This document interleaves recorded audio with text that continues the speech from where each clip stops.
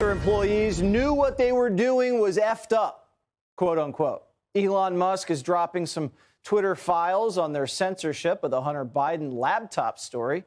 Fox Business correspondent Kelly O'Grady is here with the latest. Kelly. Hi, good to see you, Jesse. Yeah, Elon just held everyone's Friday night hostage with these bombshells. So I kind of want to walk you through what's going on here. So journalist Matt Taibbi is painting a very long run up. I think we're at 34 or 35 tweets. It might have changed while we're on the air of how Twitter suppressed the Hunter Biden laptop story. So here's what we know thus far.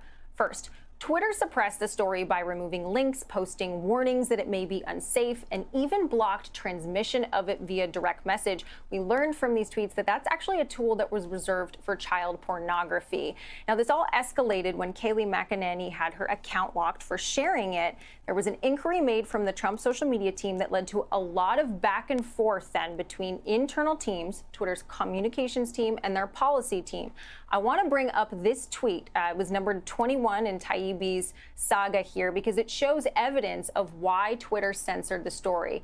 Uh, so it says, per checking, the user was bounced by site integrity for violating our hacked materials policy, adding them here for further insights and guidance. Now, it gets confusing because Taibbi is saying that sources share that the government had not confirmed that hack through sources. Um, over the next few tweets, we're learning that Jack Dorsey was not involved and that this really, this decision really came down to Vijaya Gadde. She's the head of legal, now fired from the company by Musk, and others in the company that were also focused on policy.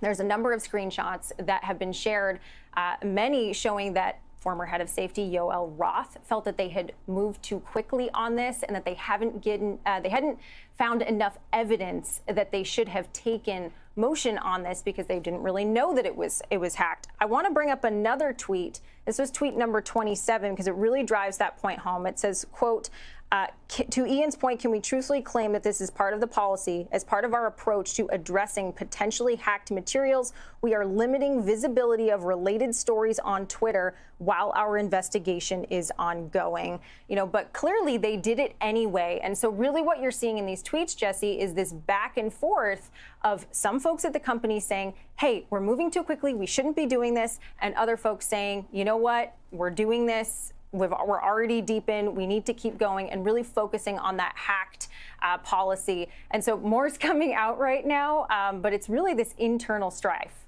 All right, Kelly, thank you so much. It's the most wonderful time of the year.